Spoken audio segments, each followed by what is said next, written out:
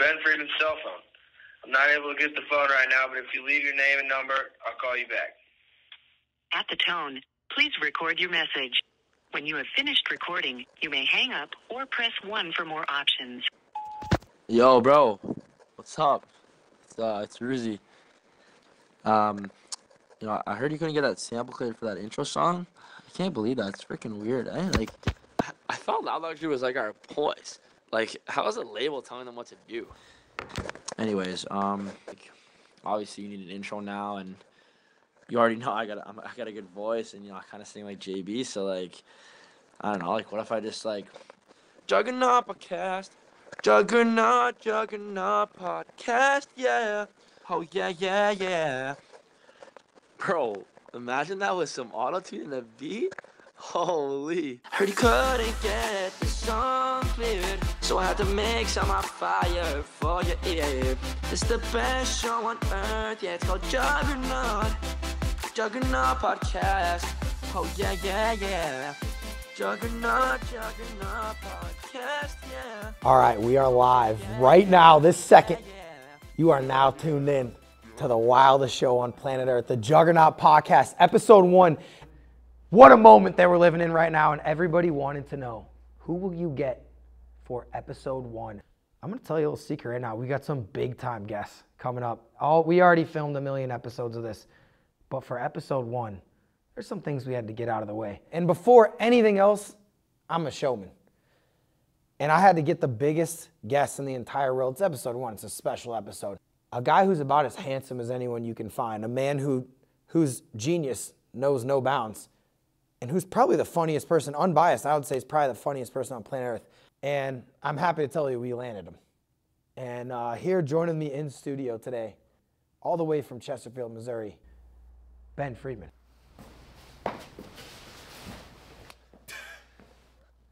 What's up, dude?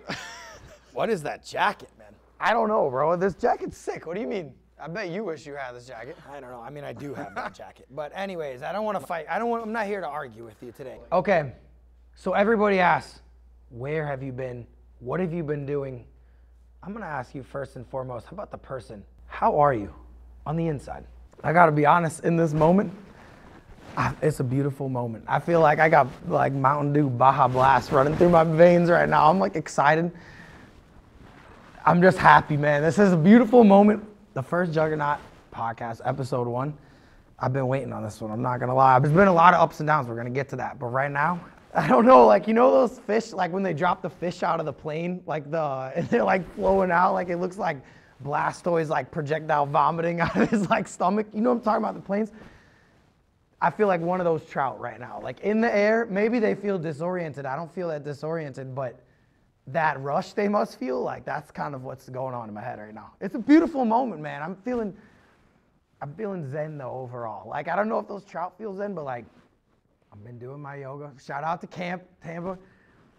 I'm a yogi now. You know, I'm doing my vinyasas. That's I'm about to do some verbal vinyasas. It's a beautiful moment. We got a lot to talk about today. All right, so everybody wants to know the questions. Why'd you leave Barstool? Where have you been? What's your favorite color of ice cream or whatever? I know most people have a lot of questions right now, and I know why because I went dark for two years. Whatever you questions you have, I'm here to answer it today, and we're gonna get into it. Like it feels good. It's it's. I feel relief right now. I finally get to talk about this stuff. I know there's a lot of questions.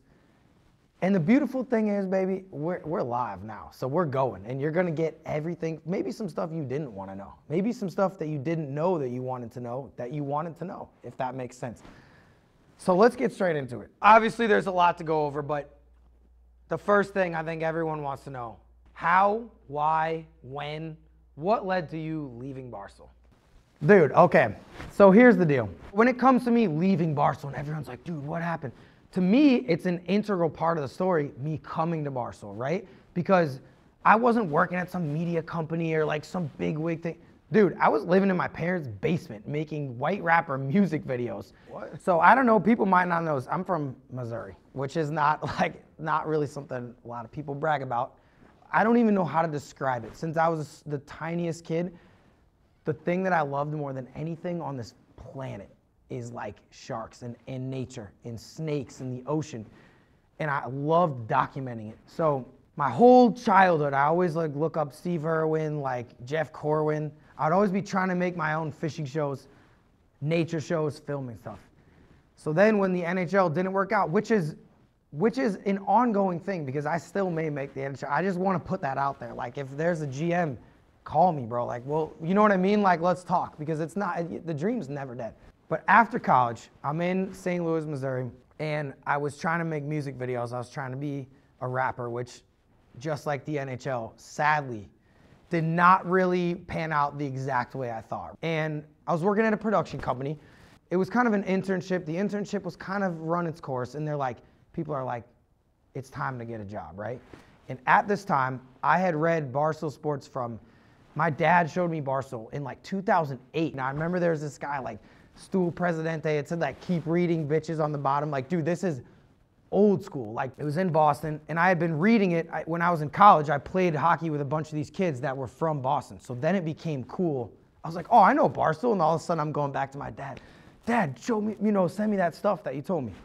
And at that point, I had been reading it for what is, I, I'm not a math guy, but 2008, 2009 to 2016, like religiously. I might have read every word that Dave and KFC had written that whole time. So I knew, knew it like the back of my hand. So when Barstool got bought by Chernin in 2016, they started hiring a few more people. And I'll never forget, I was sitting on Busch Wildlife, Lake 34, bouncing this jig, like, and I remembered, like, it, sometimes you're just thinking about stuff so much that it's just like an epiphany. I was like, they, they had just done, like, they had Chiclets, they had like RA and Whitney, whatever. So I was like, okay, I can't be the hockey guy. I love hockey. They have sports, they have football, all this stuff. But no one's like a nature guy. And I'm like, I'm the nature guy. And I just had this epiphany standing on Lake 34, Busch Wildlife in St. Louis. And at this point, it's coinciding. So I made this music video called Young Page Views. I had this another epiphany in Faust Park walking. I'm like, I'm gonna make a music video. It's gonna get on Barstool. Then I'm gonna be famous. That was my kind of thought process. So I made the music video called Young Page Views because that was the whole concept was I did all these parodies of like Dave's life. Every single, like, it was like pretty good too. It was like pretty spot on, right? And I made it, and all the lyrics were like me as Dave, and I was like, the whole thing was like, I was, I felt like Dave right before he was like made Barstool, whatever. So I make the music video. Dave follows me. I begging him for an interview. I'd send him photoshops every single day. I'd send him all this stuff. And finally he's like, you want to come in for an interview? And at this point, it's funny, I made the music video, but that kind of had nothing to do with what I thought I was going to do for them. My whole plan was I'm going to be the Barstool Outdoors guy. And I made all this stuff. I flew to Florida, filmed me like catching sharks. Ended up, he said, you can come in next Tuesday works. It was a Friday. And I was trying to get this tiger, dude, and it was $10,000 and they wouldn't, they had to get this permit. I couldn't get a tiger. So I'm calling all the places. I'm like, next Tuesday could be the one after or this one, but I'm not going to lose my chance. He told me I could come into Barstool.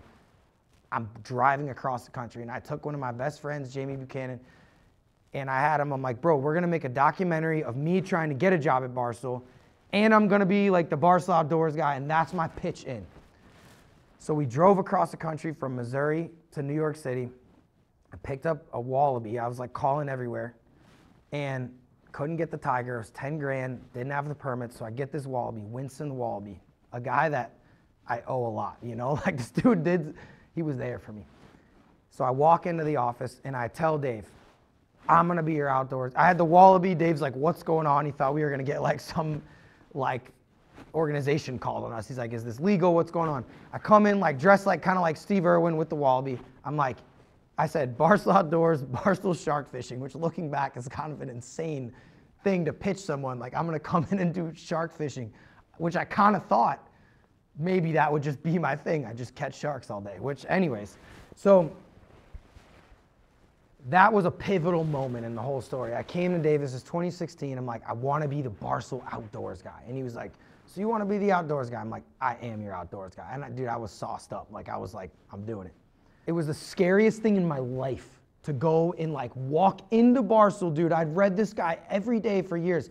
And Dave's like an intimidating figure to just walk into. He's very like quick and like all this stuff. Like when I looked at him in real life the first time, I'm like, holy shit, dude. It's like the first time I saw like a giant, like the first time I saw like a big tiger shark and you kind of get that like, you kind of like flinch almost. Like when I saw Dave, I'm like, and the tiger shark can't talk. Like Dave could talk. I'm like scared. But I was like, took all my bravery. I'm like, I want to be your Barstool Outdoors guy, whatever. Did the interview. I stayed there all week. He's like, hey, he calls me in his office, which is terrifying. He's like, we have a spot for you. Have you ever seen The Office? I'm like, yeah, of course, dude. I've seen. I'd never seen it. I, to this day, I've never watched The Office ever. But what am I going to say to Dave? He could have said, have you ever, do you know Sesame Street every episode? I'd be like, yeah, dude, of course. Like, I just wanted a job. He could I could have walked tight ropes, whatever. He's like, we want you to do this thing, stool scenes, and you're to basically make The Office for Barstool.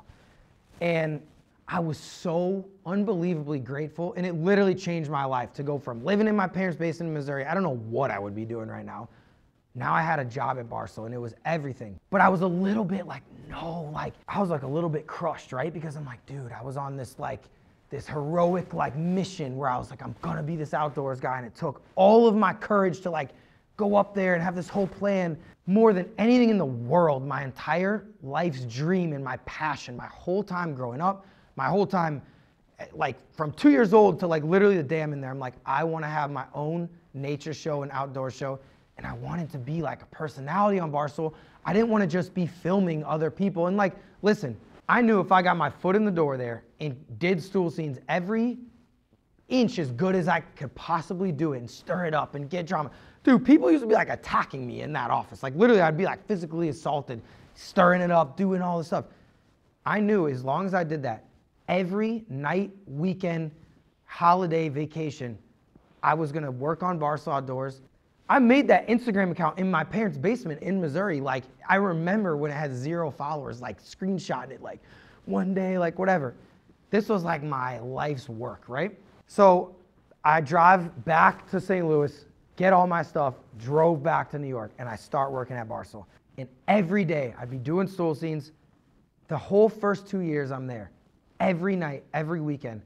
I, dude, I literally wore like animal clothes every single day to work. Like I'd wear camo and like alligator shirts because I'm like, I need to be the Barstool. I am the Barstool Outdoors guy. I will stop at nothing. So that whole first year, whole second year, every weekend I'd finish stool scenes. Maybe it'd be Saturday, maybe it'd be Friday night, take the last train over to New Jersey, or I'd take the last flight out, go do stuff, come back Sunday night.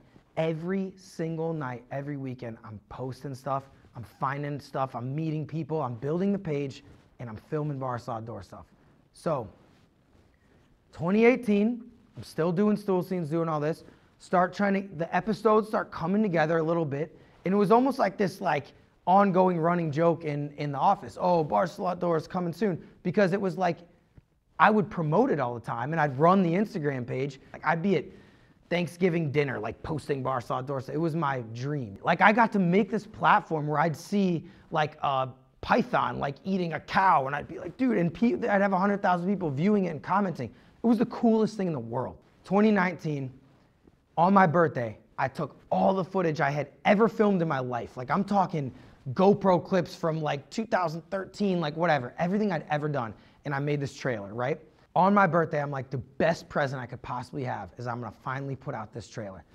Barstool Outdoors was like a covert operation because I knew if I was doing that too much or something, Dave might kill it and be like, you can't, your job is stool scenes, focus on stool scenes.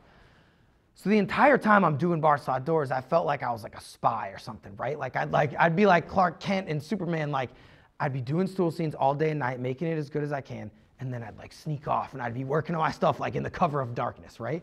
So this was a big moment, 2019, where I'm like, I'm gonna put out this trailer. I didn't know at that moment if I'm gonna put out this Barstool Outdoors trailer and Dave's gonna be like, don't do this anymore. Like I didn't know everything I'd done, every night's, weekends, whatever, because I could see him being like, you do stool scenes, this is what you get paid to do.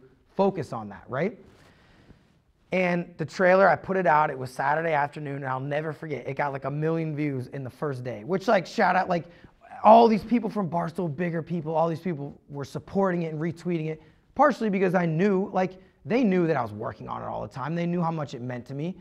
But I'm so grateful. That moment changed my life. And Dave called me in the office on that Monday. This is 2019. You got to realize this mission had been going on since 2016. And I was so nervous. I'm like, oh my God, like, is he gonna kill it? Is he gonna kill me? Like, I don't know what he's gonna do. He's like, oh, like, you know, because it got so many views and the reviews were so positive. I'm like, he's like, hey, like, uh, you know, maybe you can do some of that more outdoor stuff now and like, you know, have somebody help you with stool scenes. I'm telling you, that moment, like I'm like, oh my God. Like not only did Dave acknowledge it and was like, we had like I looked him in the face and he said the words Barca outdoors. I'm like, I was like shaking. I'm like, what? Like, oh my God, it's like my dream is like happening. And before then, it was all nights, weekends, on my own dime. I'm paying every dollar because once again, I knew how do I get this to not get shut down is I'm gonna do it on my own money because what can they say? If I'm using Barstool resources, they could have said, hey, this is not a good use of our time or money. If I'm doing it on my own time, my own money, I will make this happen and I will stop at nothing. So the reason why I tell that backstory is this meant the fucking world to me. Like this meant everything. This entire concept of Barstool Outdoors was everything from me being a little kid to me being a teenager to filming, you know, stuff on vacations. Like I'm from Missouri. The only time I got to film shark stuff was when we went on Christmas break to the Keys. You know what I mean?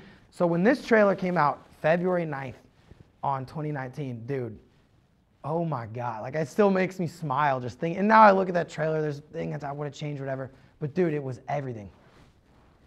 So at that point, we started getting the episodes together and it started to be like, hey, this is something you can put out on Barstool. I'm like, dude, I went from people used to call me the human tripod, like all this stuff. Like I was so insecure about it because I'm like, I'm in the office with all these people and I knew like, I'm like, dude, I know that I can like be one of these people, but I always felt like a second class citizen, you know? Like I'm like, yeah, I'm worked for Barstool and I'm one of the people, but I'm like, my job is to film the other people. Like I felt insecure about my place as like a true creator there, a personality there. And I'm like, I know I can do it.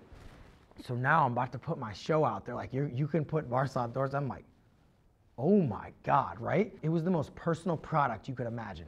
So at this time, 2019, if you're an NHL fan, you may know this. If you're not, welcome to the show because I, there was a little guy named Boris the Chinchilla that another person who I owe a lot of stuff to. And I'm shout out to Boris. Boris is alive and well. People always ask me that. Boris is so alive, like he's never been more alive. This guy is thriving. He's living in chinchilla retirement.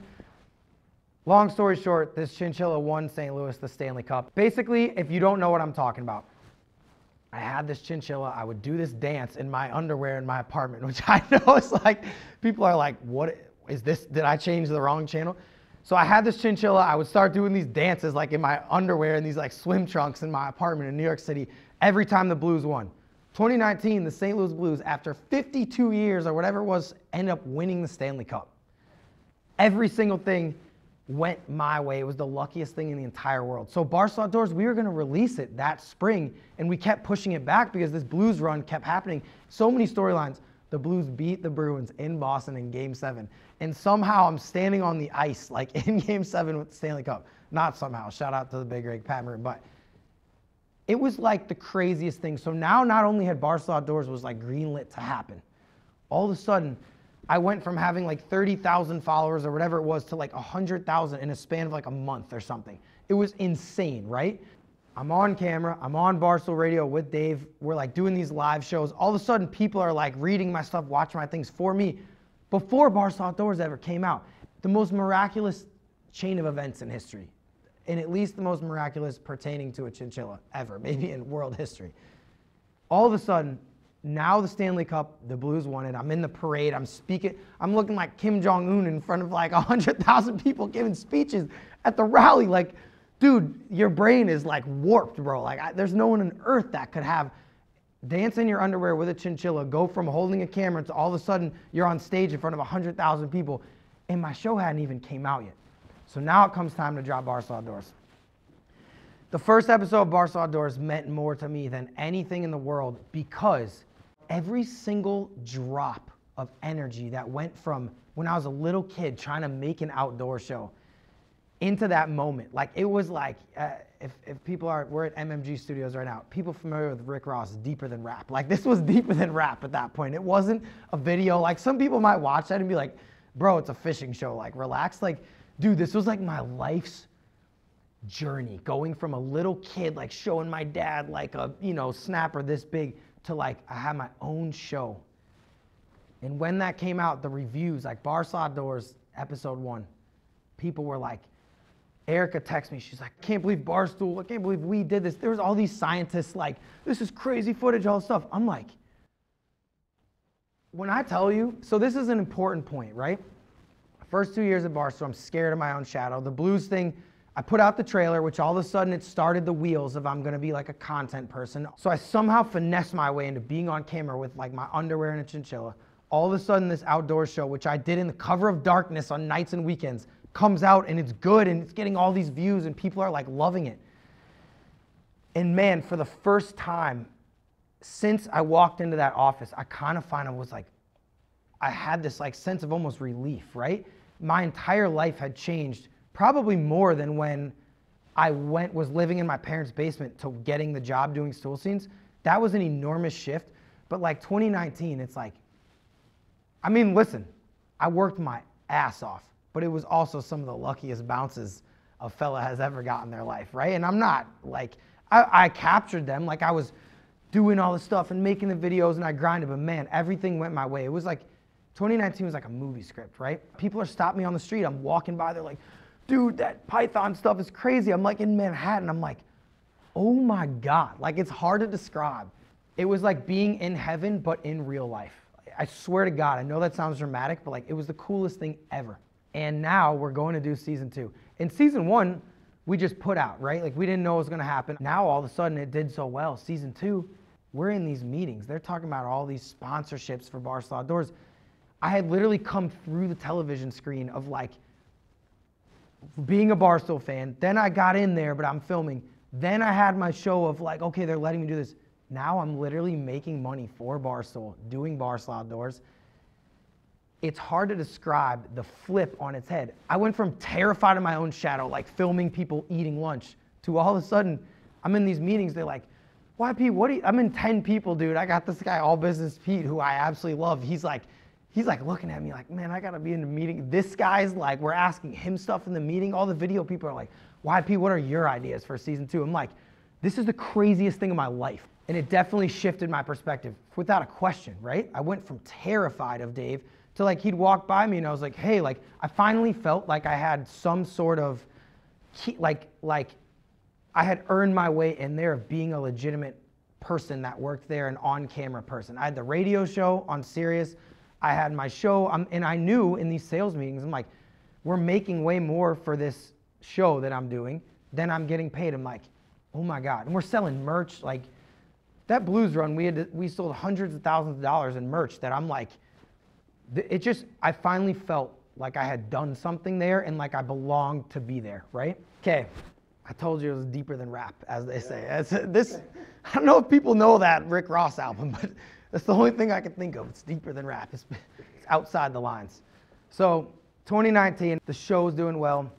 I am the Barstool Outdoors guy. Actually now. Like I had said it before, I'd been working in the shadows. Now I'm him. I'm like, oh my God, this is the happiest thing in my life.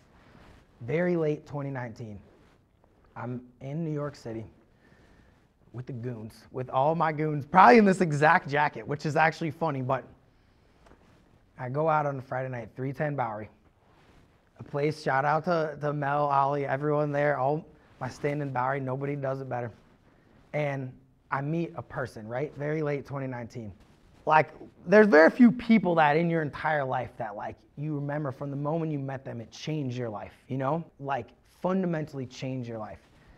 And I meet a person the smartest person I'd ever met. A girl. If you know the story, you might know it's a girl, but for storytelling's sake, it's a girl. The smartest person I'd ever met, the funniest, like clever, just like the way I could describe the most is like I was more me with, with this person than I was like by myself. Like I don't know how to say it. I never met a cooler, more like confident person in my life, right? And there's something just magnetic about it. But like over the top of everything, I think my number one like thing that I could say is just like I couldn't believe that I had found like the biggest, like cutest, just like giant dork in the world. I was just head over heels or whatever's past head over heels from the second I met this person on. And the reason why I bring this up is because everything in my life in 2019 had just kind of blossomed in this in, in this beautiful way, right? Like work and all these crazy cool occurrences and everything had just kind of bloomed into this moment. And then when I met this girl, without question, my mentality 100% shifted when it came to like life as far as like where I was. And you know, I'm 28 years old. I'm looking at this person who I'm like, for the first time in my life, I kind of thought, oh wow, this is where kind of that next chapter was almost incepted into my head of like, oh, this is where this goes next. And I started thinking different. And without a question, the reason why I bring this up in the midst of all this, A, it was an enormous event in my life. But number two, it definitely shifted my perspective on Barstool and kind of my career and where I wanted to be.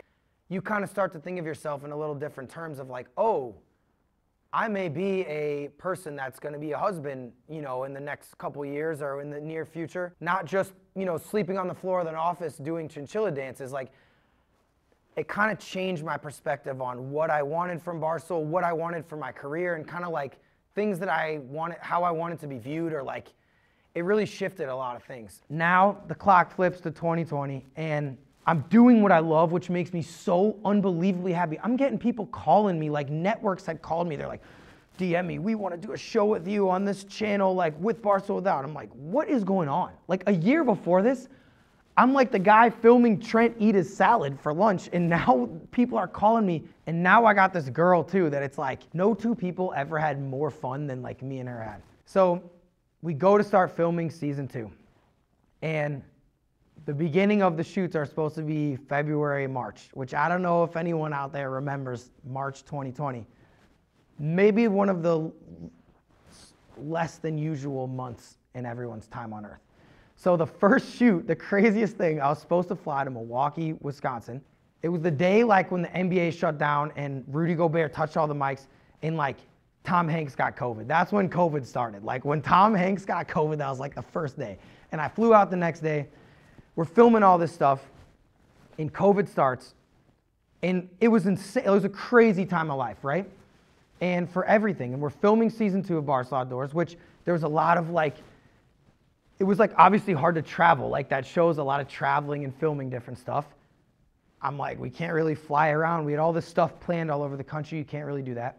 But we're making it happen. To me, I'm like, wow, this is I'm crushing it. We're filming the Labatt cast, which is sponsored on the paddleboards live stream a couple times a week. My girlfriend was getting eaten by mosquitoes and stuff. Like like I'm like like we're grinding. You know what I'm saying? Like we're filming all this stuff. We're paddling back in the mangroves. I like we're filming the Labatt cast. We're driving around Florida everywhere. In the, the social content that I was able to make living in Florida far surpassed anything that I was able to do while living in Manhattan, right? Because Everyone knows New York City, maybe not the outdoors capital of the world, is one way to put it. And especially not during COVID where you can't leave your apartment. So I'm living in New Smyrna Beach, and every day, like I'd go down, I'd be like, okay, I'm gonna go put, uh, like I'd see this crab. I'm like, I'm gonna go find this crab and make a video about it and teach. I do these little like nature videos teaching people about it. I'd go catch a shark and talk people about it. And the social content during that time, all of our accounts, my account grew like double. Barstool Outdoors grew like hundreds of thousands during this time. And I'm like, 100% there was definitely a shift in my mind a little bit where all of a sudden I'm not in buildings all the time. I'm not like in trash and rats and all this stuff. The content was better than it had been and we're getting better numbers. So to me, I kind of was like, well, if I can show that this is viable and the accounts grow better and I can make more outdoors content, if I'm the outdoors guy, I definitely was drawn to Florida and definitely had a resentment against going back into the office at that point, right? And was that wrong? Was that right? I don't know, right? But this is my honest feelings at the time. I'm like, this is the most fun thing in my entire life. Also, I'm living with my girlfriend's family in New Smyrna Beach. I mean, it was the most fun thing I could have possibly imagined. We're like riding in the golf cart to go get coffee and like all this stuff. It was so fun. Like, I don't know how to describe it, but made season two happen and was it the wild extravaganza that it was going to be before when it was like you know flying to hawaii and all stuff? No but during march april and may of 2020 and covid we filmed season two of outdoors and i was like the numbers of all the social stuff and we got the season done a sponsored season during covid. I'm thinking it's going great.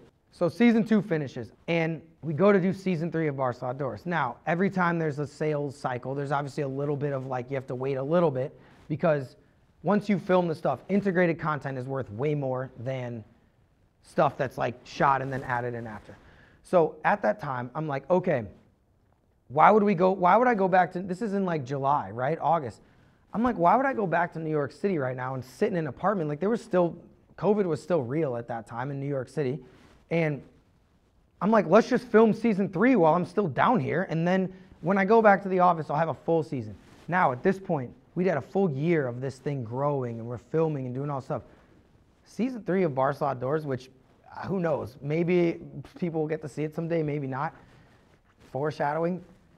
It was the nastiest thing of all time. We had Steve Rinella, we had Mike Iaconelli, we had Alex Killorn, Pat Maroon.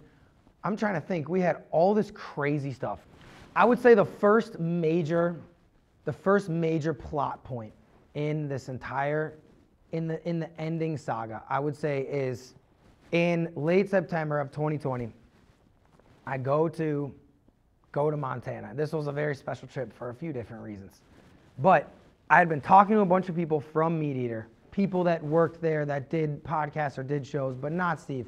But I knew, to me, Meat Eater was like the creme de la creme of outdoor stuff. Still is, but I'm saying like at that time, I'm like, what collab could we do that would take this to the next level that's like bigger than anyone else? So I knew some of those people from Meat Eater, and I knew they're in Montana. There's a, there's a saying that we talk about called hanging around the hoop, right? Sometimes you got to get up there, be around there, meet some people, talk to people, and good things happen. So I go up there. This trip was very special for a few reasons. Long story short, go on this trip to Montana. I got engaged on a Sunday on top of a mountain. For my money, the number I think it was the most fire engagement of all time. Maybe not in like long-term results category, but in like of that day. Listen, it was a beautiful moment, happiest day of my entire life. It was on a weekend on a trip. So I paid for all the flights on this trip to Montana, all the, the rental cars, all the lodging, all everything for good reason. I went up there, I got engaged on the weekend before. And also, I'm like, what's the difference if I'm blogging and filming outdoor stuff from Florida or Montana? To me, I was doing extra credit. Like, I'm like, I paid for all the stuff myself. I went to go film this episode in Montana for Barstool Doors season three. And we filmed the episode on that Wednesday of that week with Sam Lungren, great dude, fly fishing, another episode that may never see the light of day, but it was beautiful. And um, great episode. Come back to Florida. And I started getting some stuff like, you know, that week. Obviously, when you post a picture of you getting engaged, there's a lot of chatter. And it was obviously a little faster than some engagements that last for seven years. Like, and that's the that's the facts, brother. I can't change that. So obviously a lot of people are saying stuff, and it was probably little, you know, like not shocking, but it's like I'm sure Dave and all these people like when one of your employees gets engaged, like obviously you're gonna talk about it, and it's like it's not like I was in our pajamas on the couch in some private thing. Like I went on top of a mountain and I like got this like it was very over the top. So I, it's okay, I get it. Obviously people are gonna talk about it, but I didn't really know any Dave had said anything. And at that point, then the next week, I start getting all of this tweets and things. Oh, like, you know, YP is just on vacation in the Himalayas or whatever. Like, it's kind of funny looking back now, but like at the time, all of a sudden that like terrifiedness starts coming back in, right? In the, in the, and I'm shitting my butt. I'm like, I remember texting Frankie like, cause Dave said on his podcast he was like gonna come pop up where I was, and I'm like scared shitless, dude. Now I'm texting Frankie, yo, where's Dave? Is he on the plane? Is he? I'm terrified. Like I remember being in the Keys, looking. And granted, now let me reiterate: during this time, we just filmed with Meat Eater. We're filming the, these episodes, Nick Stanczyk, all this stuff. We're getting this insanely good like content for Barstool Outdoors season three, and in my mind I kind of thought like that's my job. Like I'm doing good. I was blogging at the time. I remember like all blue stuff, everything. So I filmed the Meat Eater episode. I'm back from Montana in Florida. We're season, filming season three. Everything to me, I'm, I'm the happiest guy in the world. I just got engaged to the girl my dreams. I'm like, if I was on cloud nine before, I'm on cloud nine trillion, whatever it is. I'm so, I'm like, this is unbelievable. And I get someone from uh, our video department or someone tells me, hey, like, Meat Eater just reached out, like Steve Rinella is like looking for you. And I think him and like his wife or someone had like followed me. Next thing you know, like I remember I was sitting at Green Turtle in the Keys in Islamorada and I get a text and he's like, hey, this is Steve Rinella. And I'm like, dude, I'd watched this guy like, I've watched every Meat Eater episode ever, right? And this dude texts my phone.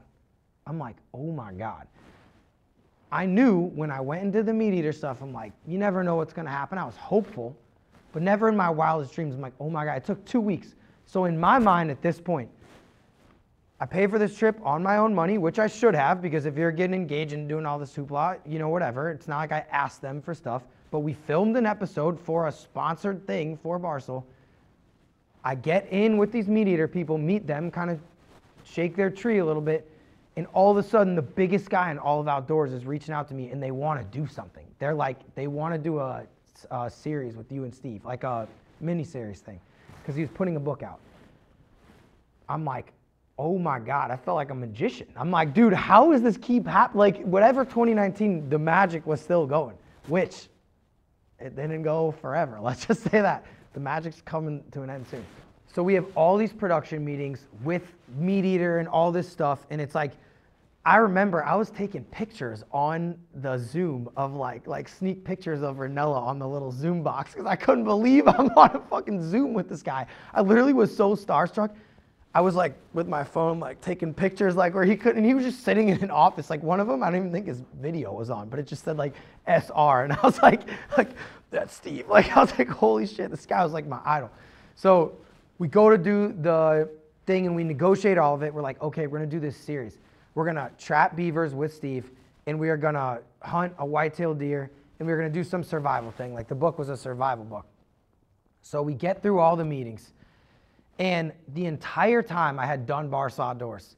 Dave was always very anti-hunting, like pro animals, like would would always make kind of jokes and comments. Oh, YP wrestles sharks, and he, you know, like he tortures sharks, like because me shark fishing, or even when I was like tagging him, and like we went through all the stuff, and like I know Dave's a showman, like it doesn't always have to be like a X's and O's conversation. Like if he's like, no, you torture sharks, and then it's like, dude, we're tagging him for science. Like he would beat me on all this stuff. So the entire time when I told you, when I was doing Barstool Outdoors, the shadows, all I could do is just not have it get shut down. Well, doing hunting stuff, when Dave's like an animal guy and very anti-hunting, I knew I could, like that was like black and white. I definitely can't do that. So I knew that whole time. So we get through with the last calls with Meat Eater, and Steve's like, "Oh, I'll see you soon, man." We're like going to book flights, and I'm like, "Oh my god!" I'm like, me and Steve, I like texting him, like, you know, guys being dudes. I'm like, "This is gonna be us," like pictures of people trapping beavers and stuff. And like, I was like, "This is insane, right?" I'm like nervous. This guy's like the top, right? Like he's on all the biggest shows, everything we get off the call, I'm elated, and I remember the, the rest of the video people like, you know when you get off of Zoom, then you all immediately call each other separately and talk about it? I'm like, I'm acting like we just won the Stanley Cup. Like I'm like, like I'm thinking like, you know what I mean? Like I'm walking back in like this Zoom, like like doing the McGregor, like Billy strut, like walking in the ring. I'm like, hey guys, like me or Nella, whatever. I'm thinking it, and they're like, oh well, like they were, they're like, you gotta call, like you gotta ask Dave. I'm like, what? Like, what do you mean? Ask Dave. I'm, it's me and Rinella. I'm like already taping like photoshops of me and Steve to my wall. I'm like, what do you mean we gotta ask Dave? She's like, an animal will be killed. Like, I'll never forget. She's like, an animal will be killed on this production. So you have to clear it with Dave because we've never done that before, right? So, and they were like, he's going to Miami this weekend. Don't text him right now. He's, he's not like, text him next week. I'm like, all right. And I'm kind of like, bro, what? Like, we're doing this shit with Rinella. What do you mean, wait? And Meat Eater's like trying to book stuff. I'm like, dude, Steve, like, I'm in. Just so you know, like, I'm in. They're like waiting. So I text Dave next week early on this long thing. Here's what it is Meat Eater, this giant thing. Meat Eater is very important in the outdoor space because X, Y, and Z. Uh, here's what we're gonna do for the thing, and this is why I need your clearance. We're gonna do this beaver. They're nuisance beavers, you know, they're gonna be killed anyways, whatever. Text them, nothing. Text him again two days later. Meanwhile, Meat Eater is hitting us up. Are we booking this? And I'm like, bro, this is the biggest thing we could possibly do. Like, what are we doing? Text him again shorter. Hey, did you see this last message? Nothing. I'm like, hey, finally I sent it in like very short things. We wanted uh, Meat down to do this collaboration. This guy's big. He's been on this thing. Here's what we want to do here. Short bullet points. Finally, I'll never forget. I was in Yeehaw Junction, Florida. I look it up because I remember there's like this broken down hotel on the left hand side. Because I was driving across to film with Mike Iaconelli and all this stuff, and like, and I'll never forget because remember when I told you I'd be terrified of anything like Dave interacting with. he wrote back. and This is after all these texts. Like it was almost to the point where I'm texting, like I wasn't even that scared. Anytime you'd text Dave, you'd get like a jolt because it's like scary and it's your boss. But at this point, he hadn't responded. I was like, okay, like at this point, I'm almost got a call like some, like I don't know what to do because MeatEater needs an answer. And this was the biggest thing we'd ever done. And I'll never forget, I was in Yeehaw Junction because I got so scared. I pulled off the road to the right across from the broken down hotel. And he just wrote back, how long is your contract for? And I'm like, I was sitting there with my fiance. I'm like, what does this mean? I think you would have thought it was a Da Vinci Code. I'm like, is he gonna fire me? Like, I thought that he was gonna like fire me because I asked to do hunting content. Like, I was so like, I don't know what does that mean? And I'm like, does he mean how long is the deal between us and Meat Eater? Like, I was just terrified. Right? It's like four words or whatever that is. I'm not a math guy. And next thing you know, I was like, what do I say? We're like trying to figure it out. I was like, I'm like, if he's gonna fire me because of that, I might like I'm fucked anyway. So I'm like, I'm just gonna say, take it as like how long is the deal between me and MeatEater? So I type back, I'm like, oh, it would only be for like a few weeks. Like I don't know, I was, I was so scared, bro. Like when Dave texts you, you it's it's like you're working with a ping pong ball up here. Like it was literally it. Like you know how, what a ping pong ball feels like? That was my brain. I'm like, be a few weeks, whatever. Like, and he doesn't respond. And within 10 seconds, Erica texts me, and Erica says, YP, hold off on the MeatEater stuff. Like, uh, let's talk Monday or something. And I'm like, oh my, I'm like, fuck. Like, I'm like, I'm getting canned for asking to do like, I don't know, dude. Like, I'm like, what do you mean we'll talk Monday? This was a Friday. That's a long weekend. Like the whole weekend, I'm sitting there like, and you know, I'm like, I had a lot of processes in my brain this entire time, and we'll get into that in a second. But I definitely wasn't as mature, and I had a lot of things that I definitely had to do some self work on that I have since then. We'll get into. Is that's the happy part but I was tweaking, dude. Like the whole weekend, losing my mind. I'm like, oh my God, I'm gonna, I'm like, I'm gonna get fired for asking to do hunting stuff. Like, I'm, this is crazy. I was so scared. I'm like, all this stuff. Go Monday. And I have the call with Erica. And I'm like, hey, Erica, like, how's it going? And she answers, and I'm like, like shaking, right? Like, I'm thinking I'm about to get canned. Erica's like, what's up, YP? Like, you know, like, she's always like fired up when you talk to her. She's like, okay, YP, we're gonna make the MeatEater stuff happen, like all good. Um, we need to get you like a new contract. And I'm like, it'd be like the whole weekend I was like emotionally in the gallows, like waiting for the thing to drop down and cut my head off. All of a sudden, I'm like, not only they take the gallows away, I'm like, what? Like, I'm like, what's going on? She's like, we'll talk tomorrow. And I'm like, ecstatic, relieved again, right? Like this whole up and down, which once again, something I was very unregulated with my highs and lows of emotionally like that. Like, okay, so we're gonna do this stuff tomorrow. She's like, we'll talk again tomorrow. I'm like, okay. We go talk the next day. She's like, YP, we want to bet big on you. We're, you're gonna have a, we're gonna do a four-year deal. I'm like, oh, what? Like, um, you know what I mean? I'm like, I never even had a contract. When I got the job at Barstool, I remember I was in Dave's office. He was like putting something in his briefcase, and I like walked in. I'm like, hey, he's like looking for something, probably his old laptop that used to like fall apart when he's like opening it.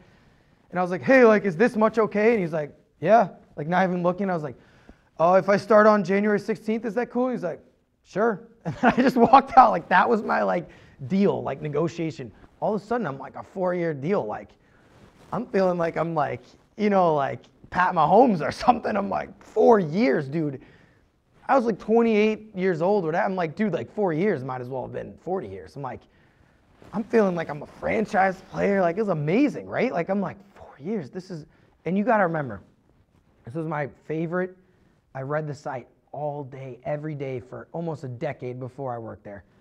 Then I'm grinding doing stool scenes. Then I get to do Barstool Outdoors. Now they're like, we want to give you a four year deal. Brother, I couldn't have been, I was like a kid in a candy store. The next day, she says, okay, they send me the offer. Bro, I'm getting paid to play with sharks and snakes. You think I was gonna go back in? And granted, I didn't have an agent. Like everyone now, like people have agents and negotiate. I, should have had one. I'm an idiot, and I'm also terrible at negotiating. One of my buddies last summer was signing with the Blues, and he was they were doing all this stuff. I'm like, bro, just take it, man. Like, 70 million still a lot of money. Like, fuck it. And then he's like, dude, my agents say like I can get more than that. I'm like, dude, like just take it. You don't want him to pull a deal and his agents end up getting him like 10 more million. it's like, if you listen to me, this got to be in the poorhouse. Anyways, so she says, call me back in two days. Like, you know, here's the deal. Like, look it over. I called her back two days later. I didn't ask for a single more dollar. I didn't ask, like, I don't care, dude. I'm getting paid to work at my favorite place, playing with sharks and doing my outdoor show for four more years. I'm like, you could have said it was zero dollars, which is also, like I said, I'm a bad negotiator. That's not negotiating, being like, I do it for free. But I would have done it for free. I don't care. Whatever this deal was, I was, um, I was so, I'm, I'm engaged to the girl of my dreams. I got a four year deal. And I called her back. I was like, I didn't ask for another dollar nothing. All that I said, I'm like, I want to try to get Barstool Outdoors to Netflix, like all this. I was like so fired up. And that was my, I didn't care about money. I didn't care about anything else. I wanted the resources to build it up. And I was like, we, I think if we can take this to like streaming, because always to me, there's all sorts of great Barstool content. Like they, there was all sorts of talented people there, like better than me, all this different stuff. But to me, Barstool Outdoors, the way that I had constructed it from the beginning, I'm like, I think this could be a long form 24 minute show that goes on Hulu or Netflix or something eventually. And I said that in the thing. I'm like, I really think that in this four years we can make that happen. Because to me, if you get on Netflix, you get on Hulu. We were at like nine, eight, nine hundred thousand then. I'm like, dude, that's how we take this to like five million. Like that's how Barstool Outdoors becomes the biggest thing. Like look at Meat Eater. They were on Netflix. I'm like, this is how we get that to that next level. So I'll never forget. I signed the deal. So Friday the 13th in this November. It was Friday the 13th. So I signed it Thursday. I'm like, Erica, because you know, I'm like, once again, I got a little bit stuff weird up here. I'm like, I can't sign this contract on Friday the 13th because, like, I don't know, it just felt like bad mojo. Which, given what happened next, I probably should have signed it on Friday the 13th. I don't know, dude. Maybe they processed it on the 13th. Because let me tell you what, brother, it was not, whatever good luck I was trying to get was not going. So I remember that night, we went to this place in St. Louis called Pepe's Number Two.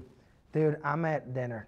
I'm with me and my beautiful fiance. We're like having my best friend in the world. We're eating. You ever seen like the Justin Bieber like yummy music video?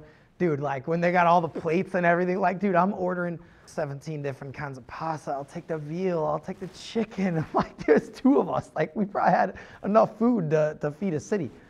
And I'll never forget, I wrote this thing. I'm like, I had this journal entry. I'm like, my life is set. Like, everything's perfect, all this stuff.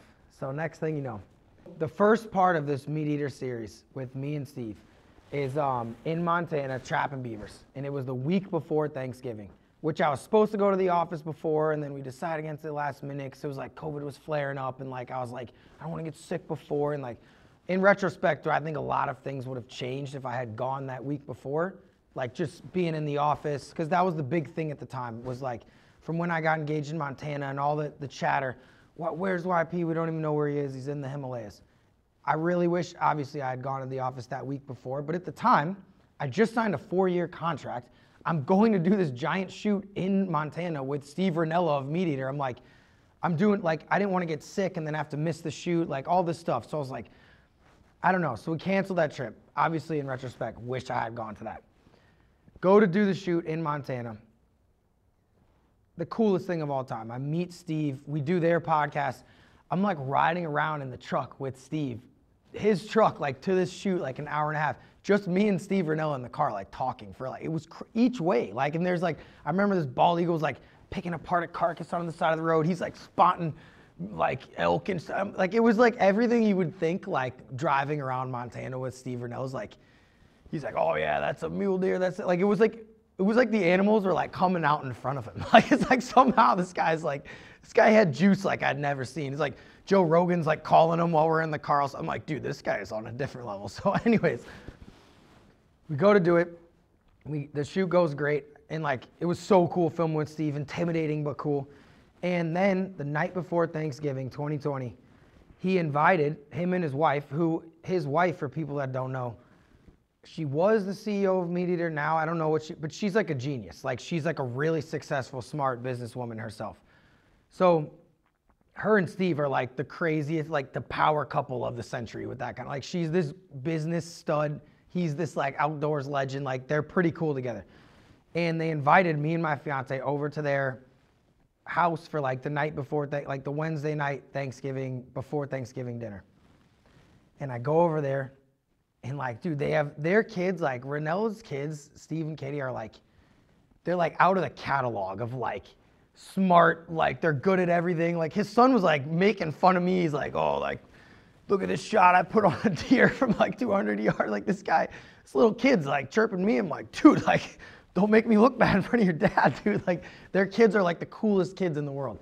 And I'm like wrestling with them. Like, we end up eating this dinner, of course, that Steve had like shot himself and like, you know, halibut from Alaska from their fish shack. And like, it was like out of a movie once again. And I remember this night so vividly because it was the last like normal night of my life, right? Like at this point, which it wasn't normal. It was the coolest thing of all time. But then they put the kids to bed. I'm sitting there. It's me, my fiance, Steve, and Katie. We're like drinking wine, talking. I'm like, at that moment, if I could say when my life had like peaked, like hopefully it's it's been good again and hopefully it goes back up. But in that time, it was straight out of a feature film. Like if Ben Friedman like could have like scripted how things gone, it was unbelievable. And that's important because of anyone who followed bars or whatever, Black Friday is the day after Thanksgiving. So we woke up like 4 a.m., flew back, we went to Missouri. Of course, COVID like sucked that year, and like I couldn't even see my grandparents or Thanksgiving like because of COVID. Like it was so lame. Like I wasn't even with. And I remember I'm just gassed, right? Like like we're woke up at four, you fly back, it's on Thanksgiving Day, I'm eating all stuff. But everyone at Barcelona knows like Black Friday starts Thursday night at midnight, right? Or more like 11 because I'm in Central. So I remember I tweeted a few of the links and I had put it on the Instagram story. Was it a thousand times? No, I wish it was looking back, right? Wake up Friday.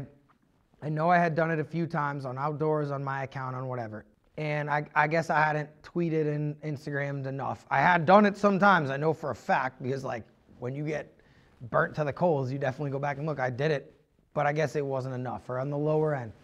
And I see Dave start tweeting, YP's value's never been lower, you know, like um, all this stuff. And he texts me like, fuck you, you know, whatever, like whatever he was. He's like, on, and, and like, there's no excuse. Like when Dave texts you, like, whatever you're doing is not enough. Like, it's like a coach on a team. Like my dad would tell me growing up, it's like, it, whatever the coach says is like, that's what it is. Like if you didn't get the puck deep enough, then you got to get it through the boards next time. Like he's my boss. You know what I mean? So he texts me, he's like unacceptable, whatever. And like I know with Dave, like once he thinks something like that, like what am I gonna do? Be like, oh, actually, I Instagrammed two times or three times. It's like I just said unacceptable, like we'll do more, and I started tweeting a thousand times, and it was bad. Like it was, you know, obviously my head's pulsing. Like anyone who's ever had Dave mad at them in Barstool outside, tweeting at you all this stuff, and I tweeted him back or I texted him back, unacceptable, you know, whatever, blah blah blah. Like I'm sorry, like I'm gonna do it right now, like whatever. Just what do you say to a boss? Like oh and he just texted back like "fuck you." like, I was like, "Oh damn!" Like, however bad you thought it was, it's like, "Oh, it's worse than that." Then he tweets the text of like us, and I'm like, like I'm laughing now, but I wasn't laughing then. Like I'm laughing as like how someone talks about like, oh, and then like you know the plane crashed. It's like, dude, this is like the worst moments of my life, right? Then I was tweeting all these things about, oh, you know, like buy this, buy this, so I don't get murdered, all stuff. And then at this point, I see a tweet go up from Dave's account. It's like an old fashioned like poster. Like I've, I've literally not seen it since that day because it gave me like EVG was like, wanted, new head of Barstool Outdoors. I'm like, dude, like it was almost like I got hit with like, you know, in uh, what's the movie, Old School, where Will Ferrell gets hit with the dart and he's like, you're funny, man. Like he falls in the pool and he's like, like that's like, it's like I was in slow. I'm like, what? Like a shockwave. I'm like, what? Like, and granted, looking back, like, should I have, like, I don't know, the, the way I handled it and the way it affected me is insane now as like a different person, right? But I'm like, oh my God, this is crazy. And I'm thinking to myself, dude, you just signed a four year contract like last week. Like, come on, he's, he's messing with, and like, you got to know with Barstool, like Dave and Gaz and those guys, it's like, sometimes stuff is like to get your goater to rally you up and you don't know when it's real always versus content. Like i didn't know in that moment. I'm like what's going on? New head of barstool doors. I'm like i literally just got back from filming with steve Rinella yesterday and just got a four-year contract. Like to me i thought i was doing like really good and we just season three was like done filming i'm like i'm like wow like i thought we were like kind of crushing it and also in my mind the way i was thinking of it i'm like we're making more on these sponsors of the show, than I'm getting paid like and we're growing and all this stuff. Like to me, like I was like, okay, I'm doing my job. Like I'm you know what I mean? And I'll never forget that day. It was like it was like my brain was refreshing every like five minutes. Like it's just like like you almost are like in shock. Like I'm like, I'd like keep remembering that that just happened. So the, with the series with Rinella, the second shoot with Rinella was the next week, and I was leaving on that Monday. So I was like, okay, weekend suck, but I'm like, I'm going to film this stuff with Steve, just like head down, get it done, and like should have tweeted more. Like I didn't know, right? And I didn't know what was real and what was fake, and like obviously, like just rattled. Would like not even to begin to describe it but like um at that point i'm like i'm going to film with Rinella, just crush this. Season three comes out. Like it'll be fine. And that next week like his podcast or whatever came out and like i remember him being like whatever he said on it which i couldn't even listen to at the time. Like i'd have my fiance listen to it and like tell me what it's because i was so I was absolutely had terrible processes and ways of handling things. That's all my fault. And like I've now gone to extensive amounts of therapy and different things to correct. You know what I'm saying? But basically, the way I would, the way I would describe my a kind of like my life and my men- mental frame at that time was like like a house of cards can look beautiful, right, and be tall and intricate and look great. But an earthquake or a gust of wind comes by and it goes down really fast. But when conditions are perfect, it's great, right? Like it can stand forever. My ability to handle things at the time was a lot like that. So when this started going, oh my God, I was I was like with Drew and I'm I'm not sleeping. I'm like puking. I'm like so rattled. The anxiety's crazy, and I'm like I literally was losing my mind. So then when he says on the podcast the next week, like, oh, YP didn't build Barstool doors or whatever he started, and like at this point, I'm like, oh my God I gotta say something. And I, I, I was like, and I, you never know at Barstool what's content and what's like he's really like gonna, you know, hire someone else. Like I didn't really know at the time. Like I don't know. And with Dave, some of his biggest, like some of the people there that were the most like legitimate would like go war, you know, like head to head with him and argue back and all this stuff. And I didn't know. I'm like, is that what he wants? Like I don't know, right? Like I'm just spinning, just like like you know when you get hit with like the shell in Mario Kart and you're like that was kind of like just me. I'm like, what's going on? So then I made this video. I'm going up to film with Rinella and I'm on the side of the road. I'm like, and it's on my Instagram and the IGTV thing. Like people can go watch it. But I'm like, I built Barstool Outdoors, kind of everything I was saying before. I'm like, this was my life's dream. I like worked my ass off to build it, all this stuff. To say I didn't like, just kind of stating facts, whatever. And in my mind, I'm like, because, like, remember the Call Her Daddy stuff? Like, not that I'm Alex Cooper, but all that drama just made them even way bigger, right? So I'm like, okay, maybe if I, like, go at it with them, like, this is going to be a bigger thing. I don't know. Like, I don't really know. I was just, like, trying to make a play at the time. Put the video out the next day, and I'm with Rinella. We're hunting. And, like, dude, Dave is like a grizzly bear, dude. Like, it's like, you either play dead or, like, I thought maybe if I, like, try to, like, hit the bear back, I don't know. It did not work. Like, it made him so much more mad. He's like, about like it's like the bear. I'm like playing dead, and then I'm like, all right, maybe he just wants me to hit him, and he'll leave. And I hit him, and he just like fucking gored me, and I'm like, oh shit, I didn't mean to hit you. So then I made that video, and like at the end of the day, did that video lead Dave to want to murder me more or something? You could say maybe, whatever. At the same time, even though the results weren't great overall, long term, I am proud that I like not went out on my sword, but like I made that video. I kind of took my nuts in my hand. Like, was I terrified? Was I like, didn't like really know? But like, I was like, all right, yeah. Like I had been so fucking afraid of my shadow there the entire time. Then I had this like uprising in 2019. I'm like, now I'm this guy. I thought I was cool, but I had never fully shaken. Like, like even then, like when Dave's saying all that, it was the first time I'd ever like spoken up for myself and been like, you know what, dude, I worked my ass off building this. I came into this office in 2016 and said, I want to be your Barstool Outdoors guy, something that never existed and probably, not, I'm not trying to be like, like, like, make something more than it is, but odds, like, there's a good chance there would never be a Barstool Outdoors or that entire vertical or Old Row Outdoors or all these things that spawned off of it afterwards if I never walked into that office and said, I want to do Barstool Outdoors. And not only that, if I had just said that and then like disappeared and done stool scenes, this meant the world to me. And I worked harder than I've ever worked on anything in my life to make it a reality. And I'm very proud that even if um, if shit had hit the fan and like obviously that video I don't think made Dave happy, but you know what? At least I said the truth and what I thought. And I said, you know what, dude? I did build this. I did this. I give a fuck about it. I care. Like all this stuff.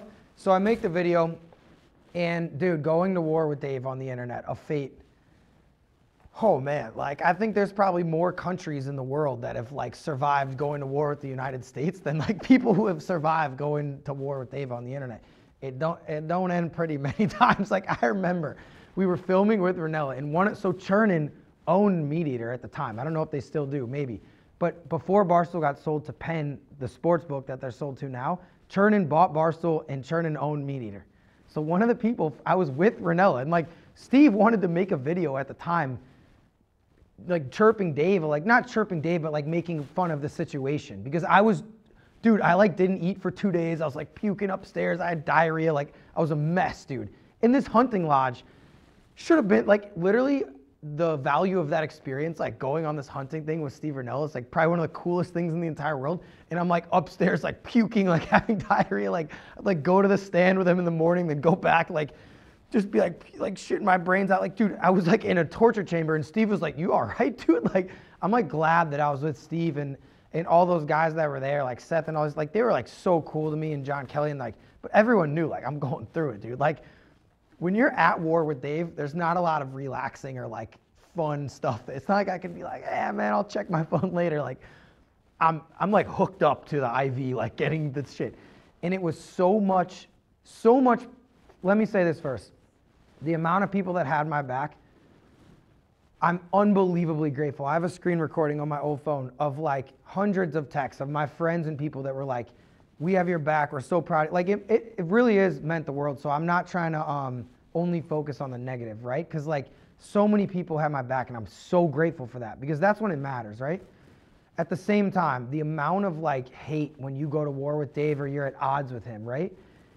Oh my God, it's, it is like I think I almost even forget now the level. Like it's this constant panic. Now, 20, 2023, Ben, right now, would I have been as affected by it as I was then? I would like to say no because I'm in a different headspace. But then, like I told you, I was in this kind of house of cards, like fragile mentality where it's like, when that was happening, like the world was over. My entire personality was from this like external, not personality, but this validation was all from an external source, right?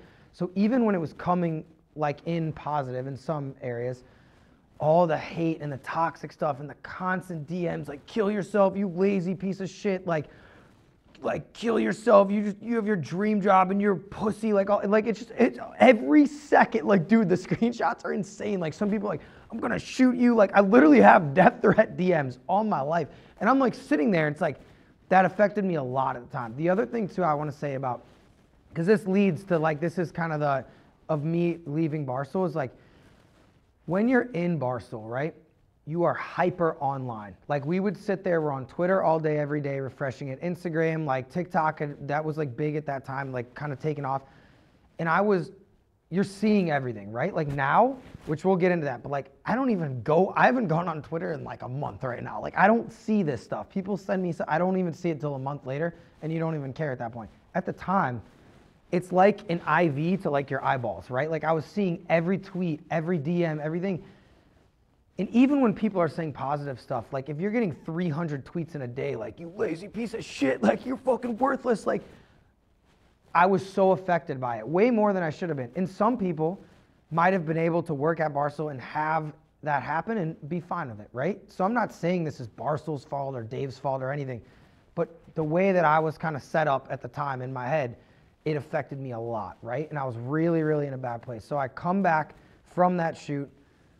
Crazy. It sucks that that footage will never come out, but it was really cool. Steve Rinella, like we took, I think we filmed for like four days something. It was like unbelievable, right?